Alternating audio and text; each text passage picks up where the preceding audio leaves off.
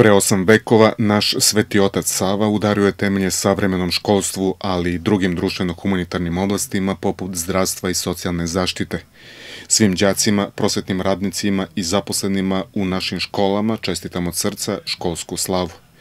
Životno delo Svetog Save predstavlja trajnu prosvetiteljsku i civilizacijsku vrednost koja nas podsjeća da je ulaganje u mlade i briga o njima siguran put ka izgradnji boljeg i naprednijeg društva – Čestitam vam Savin dan uz želju da svaki dan u školi bude ispunjen usvajanjem novih saznanja, napretkom i ispunjen osmesima naših đaka, kaže se u čestitki gradonačelnika.